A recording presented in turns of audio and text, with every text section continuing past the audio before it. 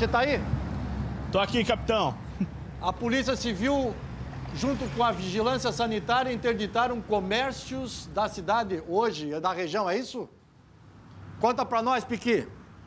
Pois é, Nilson. Pois é, boa tarde a você e a todos que acompanham a Tribuna do Povo. Foi em Garuva. Os policiais civis, junto com a vigilância sanitária da cidade, chegaram até um estabelecimento comercial, Nilson, e detectaram que lá havia vários produtos, várias mercadorias vencidas, inclusive do ano de 2017. A gente fica até pensando, né, Nilson? Será que o dono desse comércio teria coragem de botar um familiar dele para consumir o que ele vendia lá no mercadinho? Com certeza não. Então, a Polícia Civil esteve lá, o, o lugar foi lacrado, fechado, toda essa mercadoria foi levada pelo IGP, o Instituto Geral de Perícias, para análise e aí ele vai sofrer aí as sanções por vender todo esse produto vencido dentro do mercadinho.